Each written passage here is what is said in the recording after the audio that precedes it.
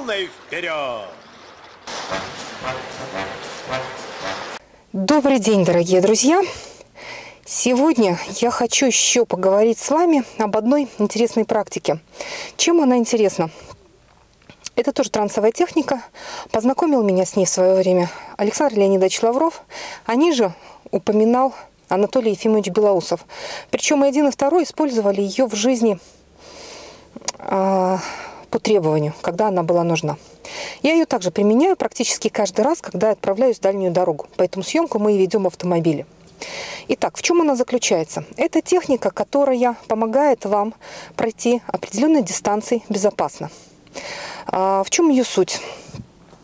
В основе, в основе ее а, лежат а, приемы работы, наша физиология, приемы работы из тибетских практик. Итак, что мы делаем?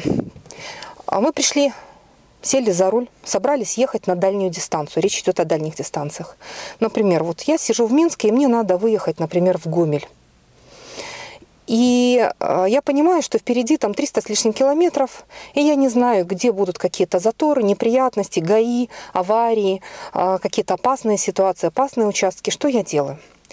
Я сажусь за руль, и пока греется машина, делаю глубокий вдох и выдох. И постепенно расконцентрирую внимание на ощущениях во всем своем теле. А, на стопах, на коленях, на ногах, на руках – на грудной клетке, на лице, на волосах. А, идет расконцентрация, идет успокоение. После чего я перевожу внимание и зрение, именно физические глаза, я направляю в область третьего глаза, в эту точку. Для чего? Это не значит, что у вас сейчас загорится во лбу третий глаз. Это значит, что вы провалитесь в определенное, достаточно глубокое трансовое состояние. То есть вы переносите внимание в область третьего глаза, при этом ваши глаза закрыты. Вам захочется вздохнуть и выдохнуть, и вы погрузитесь еще глубже в себя. В это время представьте, что из области третьего глаза выходит зеленый луч.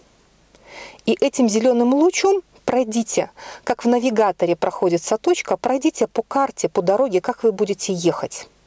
И если в каком-то месте луч вдруг окрасится, точка эта окрасится в красный цвет, либо же прервется, либо еще что-то, я рекомендую в таком случае выйти и почистите зеркала в машине, протрите, проверьте лампочки, все ли у вас горят и так далее. Можете зайти в соседнее кафе попить кофе, то есть отложите вашу поездку на 5 минут. Буквально 5 минут, после чего сядьте и повторите практику. Повторяйте ее до тех пор, пока вся дорога не будет пройдена зеленым лучом без остановок, без задержек, без каких-то помех. И после того, как это все пройдено, в добрый путь. В добрый путь у вас все пройдет отлично и прекрасно. В случае, если все-таки у вас э, происходит где-то не окрашивание в красный цвет, а как бы пункты остановки, где она задерживается на какое-то время, туго проходит. Будьте внимательны в этих областях. Если вы представляете карту, где это происходит, возможно, там стоит ГАИ. Возможно, вас настигнет карма, и надо будет оплатить проезд данного участка пути. Но это мелочи практики по работе с ГАИ и по как, как вычисляются, как делается, а, и по разным неприятным моментам, которые могут возникнуть э, на этапе, на пути, мы сделаем чуть дальше. Я сделаю еще один ролик, там будет чуть-чуть другая техника. А на сегодня спасибо вам за внимание. С вами была я, Наталья Зайцева. Благодарю. До свидания.